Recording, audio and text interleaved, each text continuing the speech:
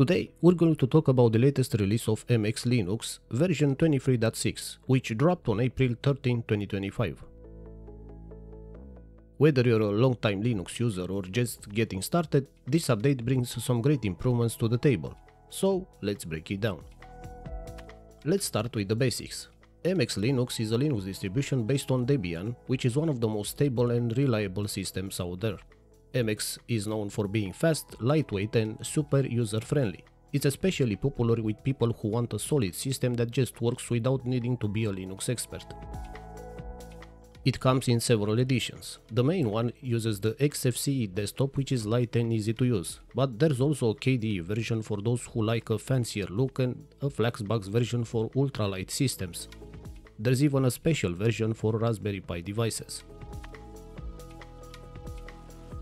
So what's MX Linux 23.6 all about? This isn't a brand new version of MX, but more like a refresh or update to the existing MX23 series. It brings in bug fixes, application updates and kernel improvements to keep things running smoothly. And here's some great news.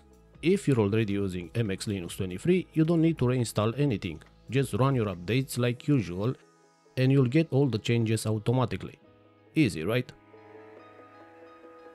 Now let's get into what's actually new. MX Linux 23.6 is built on Debian 12.10 which is codenamed Bookworm. Think of Debian as the engine that powers MX Linux, and with this update you'll get all the latest stable features and fixes from Debian 2. If you're using the XFCE edition of MX Linux, you'll now get XFCE version 4.20. This brings small but helpful improvements. For example, the login sound system now waits for the audio system to be ready before playing a sound.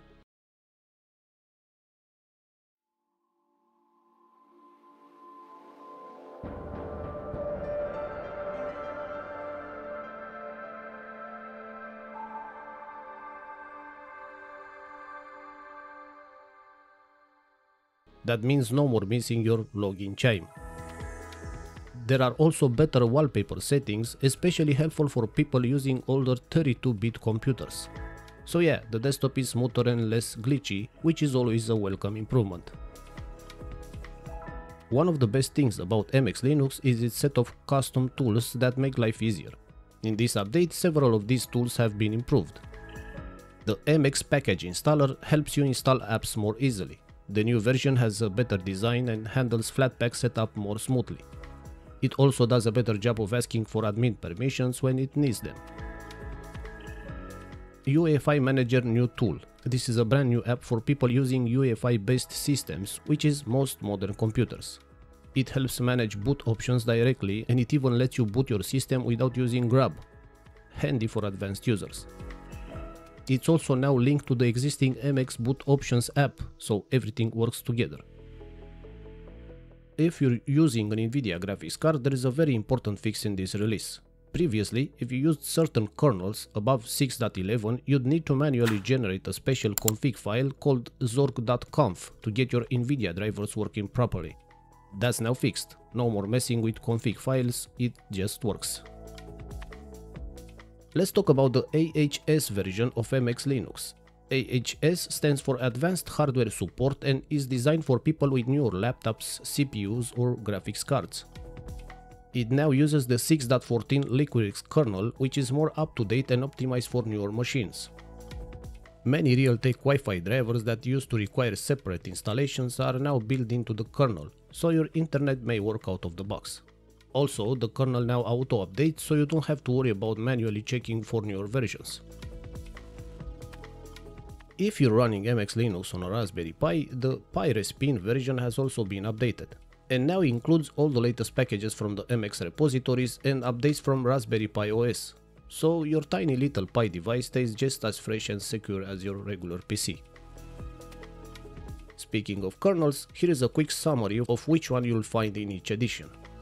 Standard editions like uh, XFCE, KDE, Fluxbox now run on Linux kernel 6.1. AHS edition uses the newer 6.14 Liquorix kernel. If you don't know what a kernel is, think of it as the core engine of your Linux system. These updates make sure you get better hardware support, performance improvements and security fixes.